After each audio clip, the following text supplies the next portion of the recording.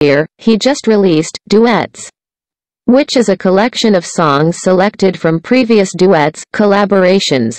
That the original album is the first new album in five years since New York 9th Avenue 57th Street, 2016.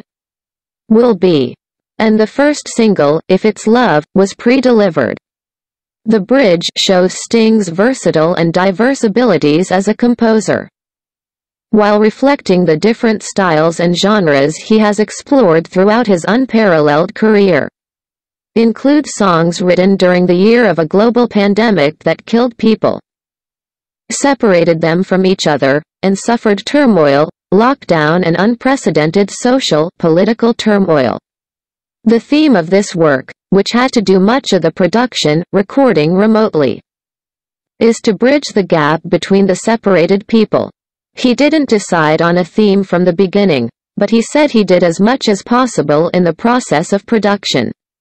In this work, which explores many concepts and themes, what bridge means is a permanently evolving link that connects different ideas, cultures, continents, and sometimes river banks.